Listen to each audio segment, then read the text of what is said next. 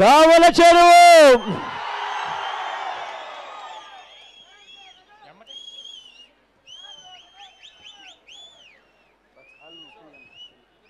ఈరోజు పాదయాత్రలో భాగంగా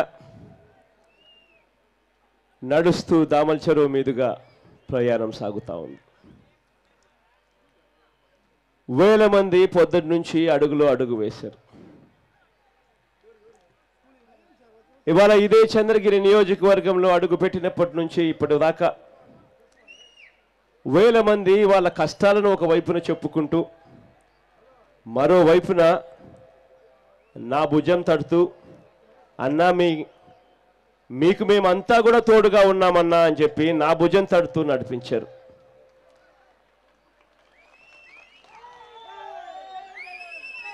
ఈరోజు ఈ రచ్చబండ కార్యక్రమంలో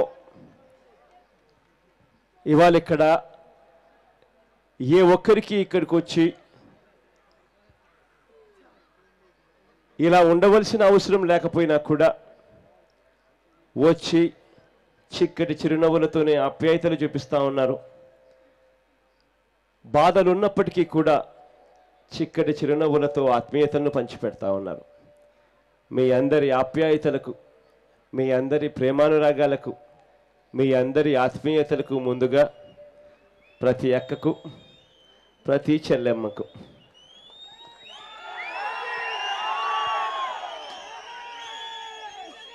ప్రతి అవ్వకు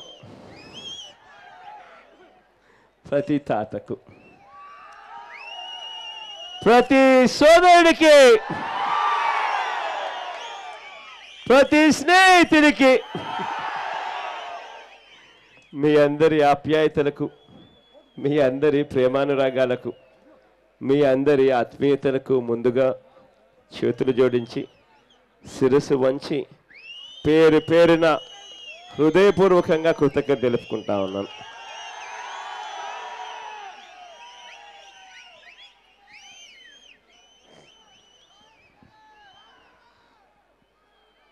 ఇవాళ భాస్కర్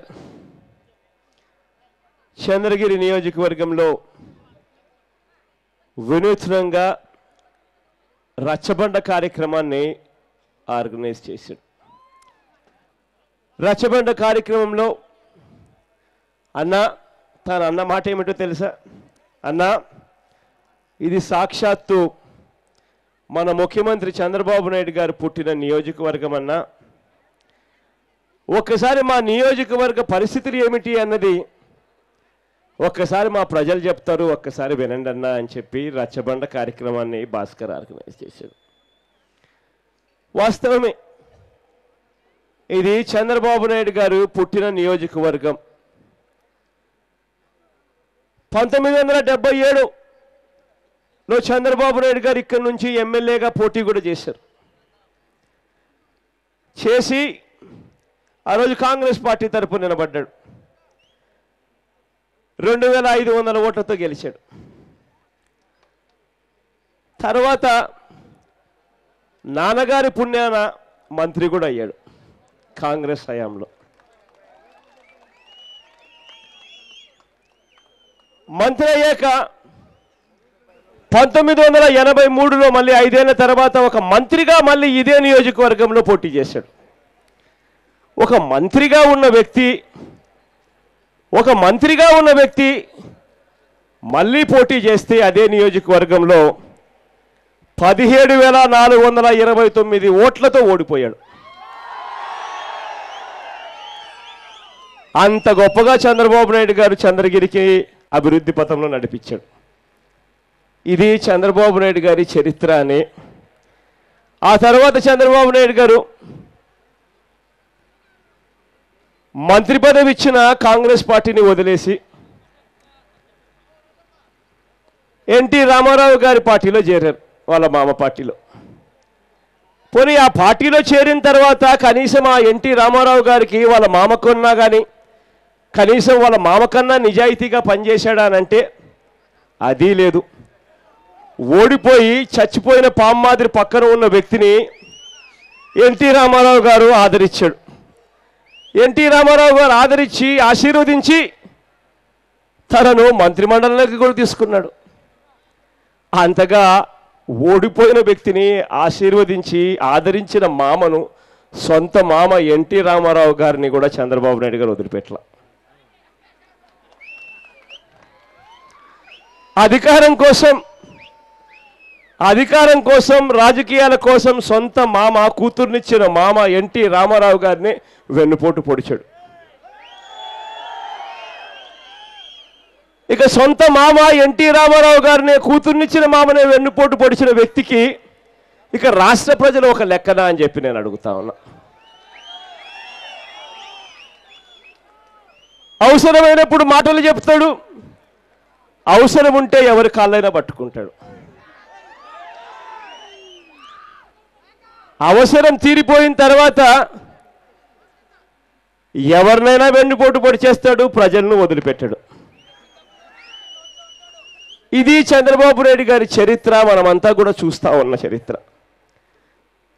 ఇదే చంద్రగిరి నియోజకవర్గంలోనే తాను పుట్టిన ఇదే గడ్డ మీదనే ఇదే చంద్రబాబు చంద్రగిరి నియోజకవర్గం మీద తాను ఒకసారి ప్రజలు ఆశీర్వదించి ఎమ్మెల్యేగా చేసి ఇక్కడి నుంచి గెలిచి ఎం- మంత్రి అయ్యాడు.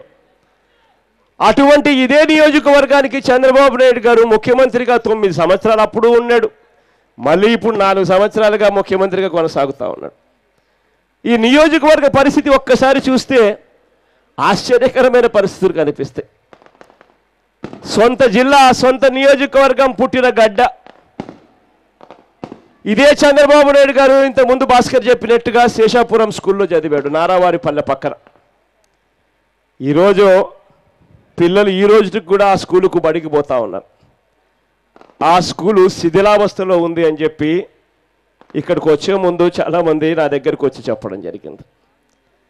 చంద్రబాబు నాయుడు గారికి కాస్తో కూస్తో కొద్దో గొప్ప కనీసం పుట్టిన ఊరి మీద చిన్నప్పుడు చదివిన స్కూల్ మీద కనీసం ఆ మేరకు కూడా ప్రేమ లేని వ్యక్తి ఇవాళ మన ముఖ్యమంత్రిగా ఉన్నారు అని అంటే ఇక రాష్ట్రంలో మిగిలిన స్కూళ్ళ పరిస్థితి ఏమిటి అని ఒక్కసారి ఆలోచన చేయమని చెప్పి నేను కొడతా ఉన్నా.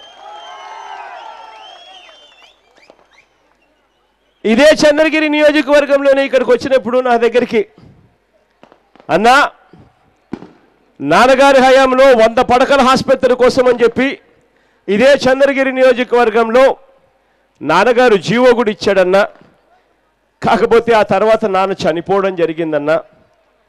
ఇవాళ చంద్రబాబు నాయుడు గారు ముఖ్యమంత్రిగా ఉన్నారు ఇక్కడ. నేను అడుగుతా ఉన్నాను.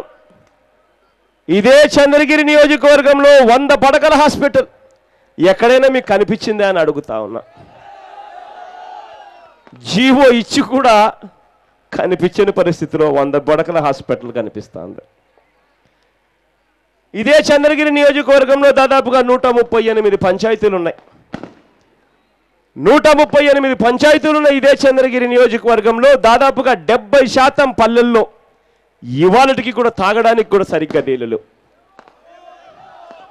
సాగుకు నీళ్ళు లేవు తాగడానికి నీళ్ళు లేవు.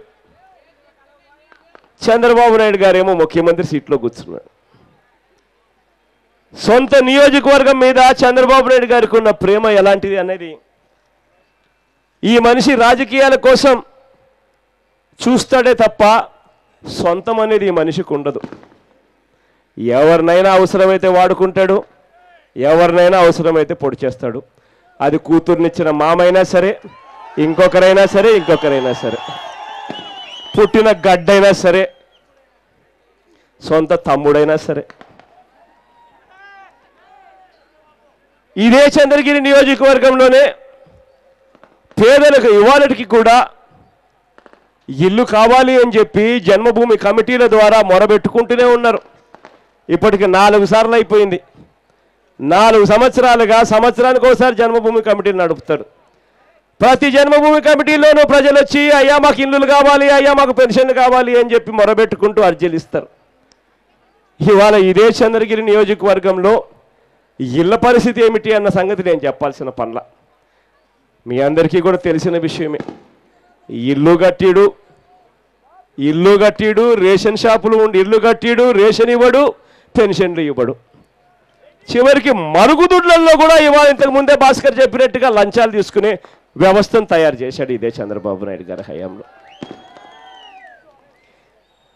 ఇదే చంద్రగిరి నియోజకవర్గంలో ఆయన సొంత నియోజకవర్గంలోనే ప్రతి సంవత్సరం ఏనుగులు చంద్రగిరి చెన్నగొట్టుపల్లి ఎర్రవారిపల్లె మండలాల్లో ఏనుగులు వచ్చి పంట నష్టం చేస్తూ ఉన్నారు అన్న సంగతి అందరికీ తెలిసిన విషయమే పేపర్లలో మేము కూడా అప్పుడప్పుడు చదువుతూ ఉంటాం.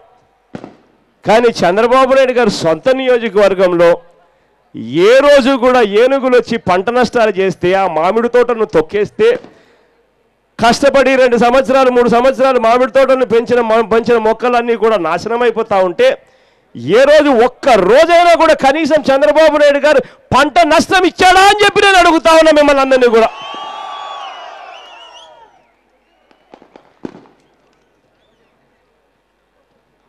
ఇవాళ ఇదే దామల చెరువులోనే మార్కెట్ ఉంది.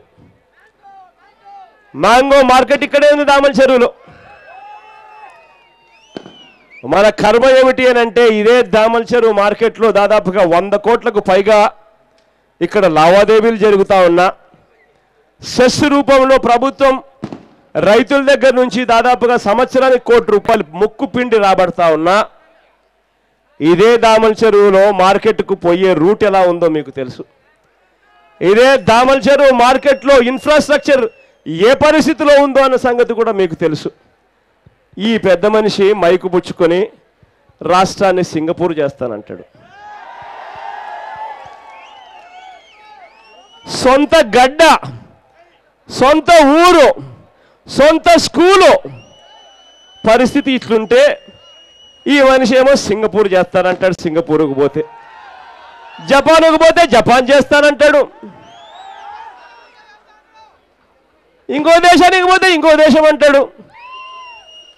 ఇంకా నయం. చిత్తూరుకు సముద్రం తెస్తానని చెప్పి అక్కడ అన్నాటికి సంతోషం.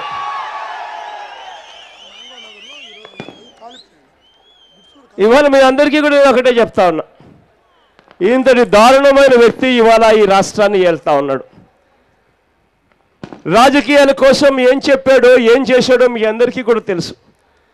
నాలుగు సంవత్సరాలుగా ఆయన ఎవరిని వదిలిపెట్టలేదు. రైతులను వదిలిపెట్టలేదు. రుణాలన్నీ పూర్తిగా బేషరతుగా మాఫీ చేస్తానని చెప్పి అన్న పెద్ద మనిషి బ్యాంకుల్లో పెట్టిన బంగారాన్ని ఇంటికి తెప్పిస్తాను అని చెప్పి ఊదరగొట్టిన పెద్ద మనిషి ఇవాళ రైతులను ఎంత దారుణంగా మోసం చేశాడో నేను చెప్పాల్సిన పనుల. పొదుపు సంఘాల అక్క చెల్లెమ్మలను ఆ రోజు ఆయన అన్న మాటలు పొదుపు సంఘాల అక్క చెల్లెమ్మల రుణాలన్నీ కూడా పూర్తిగా మాఫీ కావాలి అంటే బాబు ముఖ్యమంత్రి కావాలన్నాడు. ఆ తర్వాత ఎంత దారుణంగా వాళ్ళని మోసం చేశాడో నేను చెప్పాల్సిన పనుల. ఇదే చంద్రబాబు నాయుడు గారు చివరికి మోసం చేయడమే కాక ఇంకా బాధ ఏమిటంటే తెలుసా? మోసం చేయడమే కాక రైతులను పొదుపు సంఘాల చెల్లెమ్మలను మోసం చేయడమే కాక అన్యాయం కూడా చేశాడు. ఆ అన్యాయం ఏమిటంటే అంతవరకు చంద్రబాబు నాయుడు గారు రాకముందు వరకు కూడా రైతులకు కానీ పొదుపు సంఘాల అక్క చెల్లెమ్మలకు కానీ సున్నా వడ్డీకే రుణాలు వచ్చేటివి. కానీ ఈయన ముఖ్యమంత్రి అయిన తర్వాత ఈయన చేసిన అన్యాయం ఏమిటో తెలుసా? వడ్డీ లెక్కలు బ్యాంకులకు కట్టడమైన మానేసినాడు. బ్యాంకులకు అక్క చెల్లెమ్మల తరపున రైతుల తరపున చంద్రబాబు నాయుడు గారు వడ్డీ లెక్కలు కట్టడం మానేసినందువలన బ్యాంకులు అక్క చెల్లెమ్మలకు కానీ రైతులకు కానీ వడ్డీ లేకుండా ఇచ్చే రుణాలను ఆపేశారు. ఇవాళ రైతులు కానీ పొదుపు సంఘాల అక్క చెల్లెమ్మలు కానీ ఇవాళ బ్యాంకులు ముక్కుపిండి రైతుల దగ్గర నుంచి అక్క చెల్లెమ్మల దగ్గర నుంచి వడ్డీలు వసూలు చేస్తూ ఉన్నారు. ఒక్కొక్కరి దగ్గర నుంచి పద్దెనిమిది శాతం నుంచి ఇరవై నాలుగు శాతం దాకా ముక్కుపిండి వసూలు చేస్తూ ఉన్నారు. మోసం చేయడం ఒక ఎత్తు రెండో వైపున అన్యాయం చేయడం మరొక ఎత్తుగా చంద్రబాబు నాయుడు గారి పాలనలో చూస్తూ ఉన్నాం ఇదే పెద్ద మనిషి. మామూలుగా చదువుకున్న పిల్లలు పిల్లలు ఉద్యోగాల కోసం ఎత్తుక్కునే పిల్లల్ని ఎవరైనా మోసం చేయాలనంటే పాపం పిల్లోడు అని అంటాం. అటువంటి పిల్లలను మోసం చేయడం అన్యాయం అని చెప్పి మామూలుగా ఎవరైనా అనుకుంటారు. కానీ ఈ పెద్ద మనిషికి దయా దాక్షిణ్యం ఏమీ లేదు. ఓట్ల కోసం పద్దెనిమిదేళ్ళు నిండితే సార్ ఆ పిల్లాడినైనా సరే మోసం చేయడానికి వెనకడుగు వేయడు. ఆ పిల్లలకి ఏం చెప్పాడు? జాబు రావాలి అని అంటే ఏమన్నాడు? ఏమన్నాడబ్బా బాబు రావాలి అని చెప్పి వాళ్ళను వదిలిపెట్టలేదు. ప్రతి ఇంటికి ఒక పాంఫ్లెట్ పంపించాడు. కార్యకర్తతో ఒక లెటర్ పంపించాడు. పంపించి అమ్మా చంద్రబాబు నాయుడు గారు స్వయంగా సంతకం పెట్టి ఇచ్చాడమ్మా మీ ఇంటికి అని చెప్పి పంపించాడు. ప్రతి ఇంటికి చెప్పింది ఏమిటో తెలుసా? అమ్మా మీరు చదవాల్సిన పని లేదు మీ పిల్లలు. మీ పిల్లలు ఏమీ చదవకపోయినా పర్వాలేదు. ప్రతి ఇంటికి ఉపాధి అన్నా ఇస్తాడు ప్రతి ఇంటికి ఉద్యోగం అన్నా ఇస్తాడమ్మా. ఈ రెండిట్లో ఏది ఇవ్వకపోతే ప్రతి ఇంటికి రెండు వేల రూపాయలు నిరుద్యోగ భృతి ఇస్తాడమ్మా. ఇదిగో అమ్మా చంద్రబాబు నాయుడు గారు స్వయంగా సంతకం పెట్టి మీకు లెటర్ ఇచ్చినాడమ్మా మీకు ఇమ్మని చెప్పాడమ్మా అని చెప్పి ప్రతి ఇంటికి పంపించాడు. టీవీ జాయిన్ చేస్తే సార్ కనిపించిన అడ్వర్టైజ్మెంట్ ఇది. ఇవాళకి దాదాపుగా చంద్రబాబు నాయుడు గారు ముఖ్యమంత్రి నలభై ఐదు నలభై ఆరు నెలలు అయిపోయింది. ఇంటూ రెండు వేల రూపాయలంటే ప్రతి ఇంటికి తొంభై వేల రూపాయలు బాకీ పడ్డాడా లేదా మిమ్మల్ని అందరినీ నేను అడుగుతా ఉన్నా. ఇదే పెద్ద మనిషి హయాంలో జరుగుతూ ఉన్న పరిపాలన చూస్తే ఫోన్ కొడితే సార్ ఇంటికి మందు షాప్ తీసుకు మందు మందు తీసుకొని వస్తూ ఉన్నారు.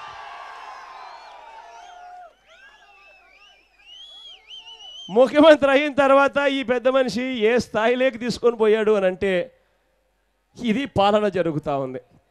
ఇవాళ ఇదే పెద్ద మనిషి ఇవాళ చెడిపోయిన ఈ రాజకీయ వ్యవస్థను నడిపిస్తూ ఉన్నాడు.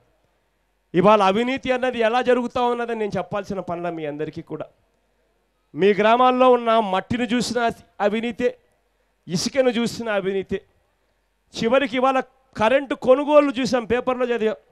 కరెంటు కొనుగోళ్ళల్లో కూడా అవినీతి. బొగ్గులో అవినీతే మద్యములో అవినీతే కాంట్రాక్టర్లలో అవినీతే.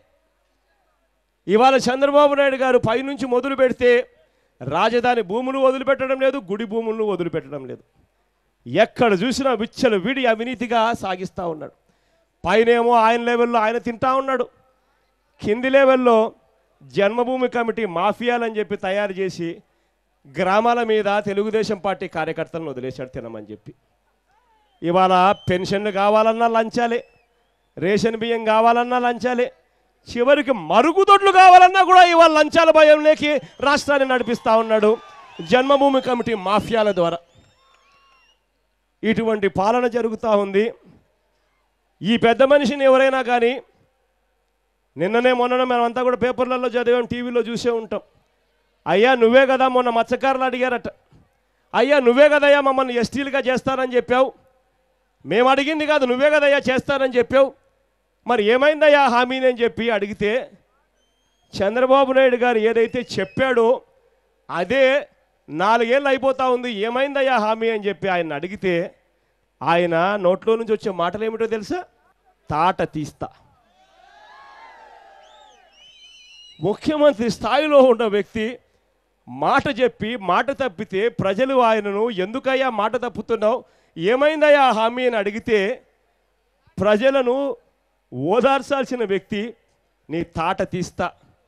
ఏం తమాషా పడతా ఉన్నారా? కబడ్దార్ అని చెప్పి చంద్రబాబు నాయుడు గారు ముఖ్యమంత్రి స్థాయిలో ఉండి బెదిరిస్తూ ఉంటే ప్రజలను నిజంగా ఈ వ్యక్తికి కళ్ళు ఇక్కడున్నాయా?